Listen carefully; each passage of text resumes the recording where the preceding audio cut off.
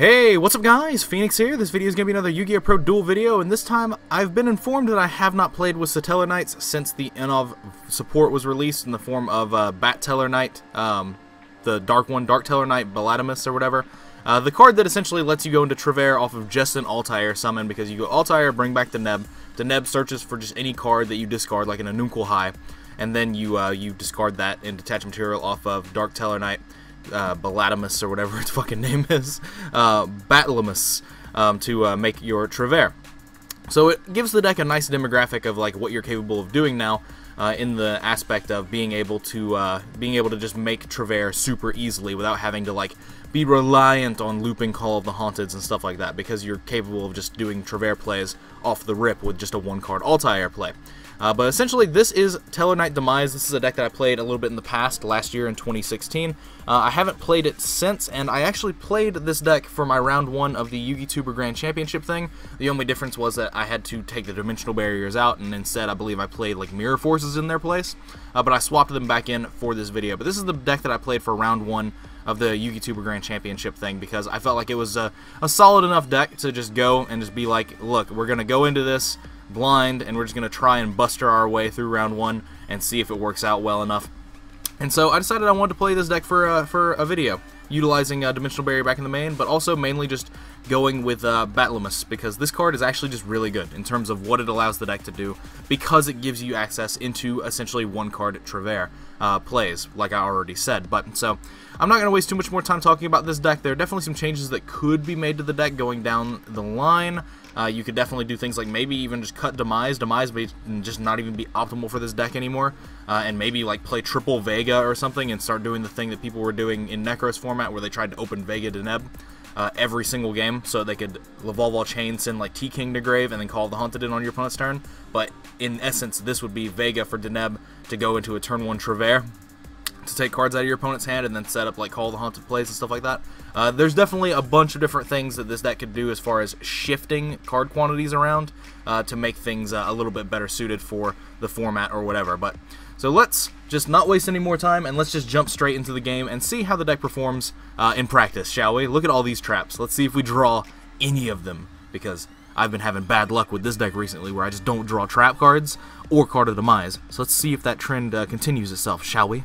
Let's just jump straight into the game. Alright, so hopefully this goes well. I need to win rock, paper, scissors, or else this is going to be a problem. And it looks like it's going to be a problem. No! Wait, never mind. We've got double dark hole. so maybe we can work with this. Okay, he's playing Sylvans again. Stag is just apparently this dude that just loves to play plant decks. He loves to play Aromas and loves to play Sylvans, apparently. I mean, I can't blame him. I like Sylvans too. But uh, as far as um, as far as competitive-wise, they don't really stack up unless you get super lucky. Uh, but that's fine, because I'm playing, I'm literally playing uh, Stel. Why is his internet connect? This is, he's the only person that I have this problem with, um, where his internet connection is apparently slow or something to where the pictures just don't load in very quickly on my end. And it's literally only when I play against him that this issue arises. So every other person I play against, the pictures load in immediately. So it's definitely a problem in internet connection between me and him. But uh, overall, like, it's just a problem. but so, okay, if he makes uh, Dracossack here, off of, like, Copy Plant and Sagequoia, I'm going to be able to go double Dark Hole and just clear the board. That's pretty simple and pretty easy, right? Uh, but he milled Dandelion and the Princessprout. Oh, he's doing Ultimate Zulkin. Okay, that's actually also fair. I actually never considered that as an option, because the last time I played Sylvans, right? The last time I played Sylvans was in 2014 when Soul Charge... Well, no, that's a lie. That's actually just a lie. Um, I played Sylvans in 2014 when Soul Charge was at 3, but then I also played Sylvans again when Rose Lover and Rose Paladin were released, because with those cards, uh, with those cards we got access into, um, into, uh, into being able to Pendulum, not Pendulum, Jesus Christ. It was middle of Nekroz format, middle of 2015. I'm trying to remember uh, where where this stuff happened. So, Spicy Dark Hole incoming! We fucking god. Um, but so we're just gonna we're just gonna do this. We're we're just gonna do this. This is all we're gonna do. This is how we do things. Uh, so this will activate searching for Altair. Fucking hell. Uh, what an interesting interaction. Just dark hole game. Um, I get to attack with these first, and then I can make uh, I can make Triverr.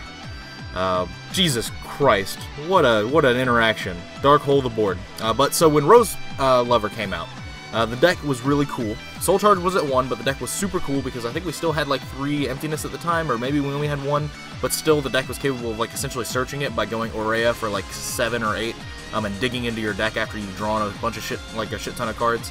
And essentially, like it was just super, uh, it was super good and super optimal for like how the deck needed to be played. But uh, so what we ended up with was we ended up with a really cool deck that uh, that was uh, playable, and I played that for a short period of time. But uh, essentially, what we uh, what we have now is we have Sylvans that have Princessprite, um, and we have Triple Lonefire, and we have all that stuff. Okay, so he's got the Field Spell in his hand still. Um, need to remember that. Need to remember that in some capacity. That is an alarm that is set on my phone, and I do not know why it bypasses the fact that I put my entire phone on silent. Interessante. Uh, but so I'm just going to end my turn here. No fear. He's got a field spell in his hand. I just Dark Hold for, for five. what an interaction. Uh, I was worried about having to deal with a Dracossack. It's like, shit, I'm going to have to throw both of my Dark Holes at the Dracossack. Ah, he draws Soul Charge for turn. What an amazing duelist. What the what an amazing man. God damn. What a fucking top deck. How does this man draw Soul Charge? This is literally the second game we've played where he's playing Sylvans. This is the second game we've played. Period. He opened Lonefire Soul Charge the last game that we played where he played Sylvans. And now he just, I'm losing, better top deck Soul Charge. So he does. Got me. Um, but so Soul Charge for three here. Uh, he gets to mill two. The Flower Knight, does it do anything? It puts a Sylvan card from grave on the top of the deck, right? Or, oh, puts a Sylvan card from deck on top of your deck. Um, that's cool. Uh, but so now he gets the field spell, but there's nothing really that he gets to do to... What did he put on top of his deck? That's what I want to know. Um, he put a Peacekeeper on top of his deck, and then he activated this so it could mill in the end of the turn. I see. Too bad I'm just going to start Triverr looping you. Um, or wait, Princessprite, the new card. Uh, excavate the top card of your deck. If it was a spell or trap, add it to your hand. Otherwise, send it to the graveyard. Okay. Um, and then uh, then it's got the Monster Reborn effect. Okay, so this this is all right. It only targets Sylvans in your graveyard and special summons them. So that's a bit unfortunate. That's a bit sad. Um, if this could bring back any plant, then whoo hoo hoo hoo baby, uh, there'd probably be some sort of infinite loops or whatever. Uh, but so these aren't going to do much in the context of how they're going to interact. I could just go ahead and dark hole the board again, and then put this back in his hand. Um, I think I'm going to, actually. Yeah, I'm just going to Dark Hole the board again. My Triverr will trigger. Um, like, we'll just do this. So I'll get Vega, and Vega will special the Altair, and then uh, Altair will special summon the Deneb, and then I can make Triverr, but it's uh, more damage to just attack. It's actually just game here uh, if I just attack now. So I think that's what we'll do. That's this deck is so dumb. Like, the fact that Triverr has these interactions. Uh, Triverr might actually be a 3 of in this extra deck as well. Um, because I always find myself having one die or go to grave off of, um, off of being overlaid under Diamond. And the loop just doesn't establish itself. Uh, but, I mean, hey. Who knows? But this is 29. So this is just game.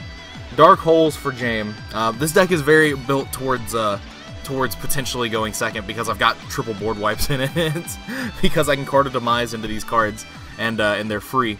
They're free interactions, free cards. But goddamn, this man, he draws Soul Charge like it's his fucking job. I can't believe that. I can't believe he draws Soul Charge so much. That card's at one. How do you draw Soul Charge so much when it's literally he has a 100% success rate as far as I've seen drawing Soul Charge in games. Thank God he didn't have Lonefire during this one. Ugh. But yeah, so that, that game was very uneventful. I mean, Dark Hole for five, and then just Triverr him a couple of times. Um, I guess, I guess it just shows that like the deck is super, the Sylvan deck is super fragile to uh, to things. If you're not just able to literally just mount just a massive amounts of stuff uh, going in your favor. Cause like I didn't even have a single trap that game, and the entire point of my deck is to win with traps. But I had board wipes, and those I guess are just better than traps in this situation. I don't know.